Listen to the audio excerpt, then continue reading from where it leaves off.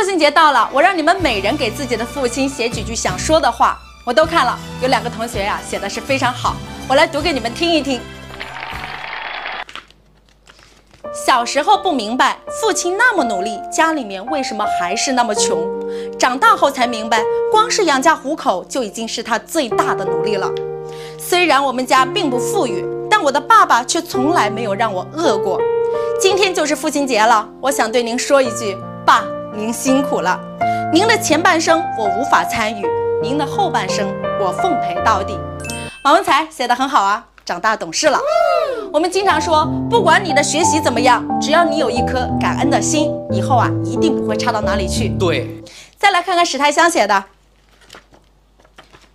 父亲节来了，我想告诉爸爸，您虽然平凡，好像什么都给不了我，但却什么都给了我。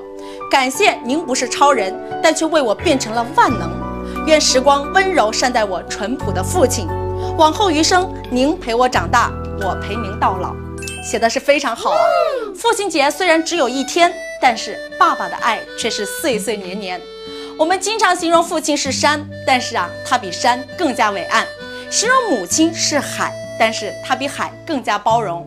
也许我们的父母没有钱，但是他们却没有让我们挨过饿；也许我们的父母没有权势，但是他们却尽全力不让我们受欺负；也许我们的父母没有本事，但是却很努力的让我们过得很舒心。